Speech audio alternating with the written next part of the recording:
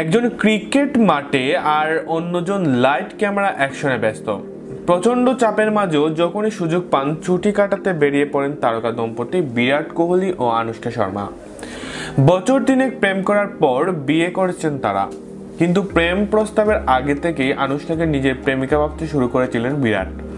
প্রথমবার বিরাট কোহলির সঙ্গে আনুষ্কা শর্মার আলাপের পর্ব কেমন ছিল, সম্প্রতি এ বিষয়ে মুখ খুলেন কোহলি।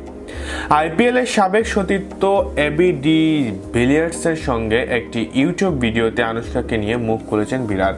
তার প্রথম আলাপ কেমন ছিল সে কথা জানিয়েছেন তিনি। বিরাট বলেন, দুই হাজার তেরো সালে একটি বিজ্ঞাপনের শুটিংয়ে আনুষ্কাকে প্রথম দেখি। শুটিংয়ের আগে বেশ ভয় লাগছিল।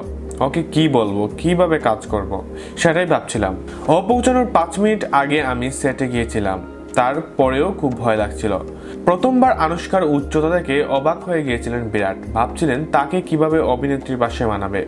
বিরাট বললেন, একে তো আনুষ্কা বেশ লম্বা, তার ওপর হিল পরে এসেছে। ওকে দেখে আমি অবাক হয়েছিলাম। মজা করে ওকে বলেছিলাম, এর থেকে ছোটো হিল আর পেলে না? আনুষ্কা বুঝতে পারেনি কেন আমি এরকম বলছি।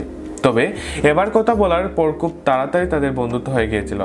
তারপর থেকে ফোনে কথা বলতেন তারা। তিনি বলেন আনুষ্কা খুব সহজ, সরল। তাই ওর সঙ্গে তাড়াতাড়ি বন্ধুত্ব হয়েছিল।